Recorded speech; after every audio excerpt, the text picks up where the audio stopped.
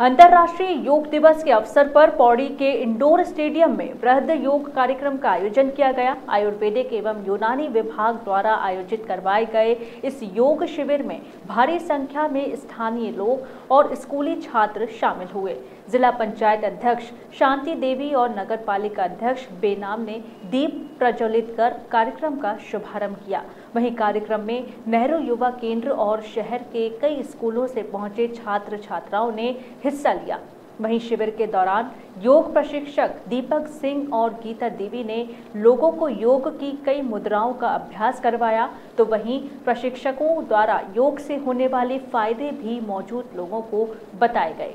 इस मौके पर आयुर्वेदिक एवं यूनानी विभाग तथा जिला क्रीड़ा विभाग, नेहरू युवा केंद्र समेत कई विभागों से पहुँचे कई अधिकारी व कर्मचारी भी मौजूद रहे।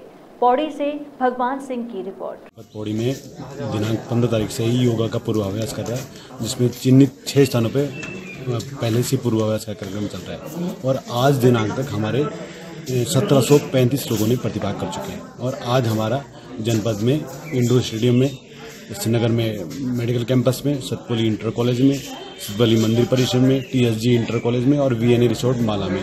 और जो हमारा मेन इवेंट है, वो परमार्थी कीर्तन में हो रहा है, जिसमें अभी तक, अभी लोग प्रतिभाग कर रहे हैं।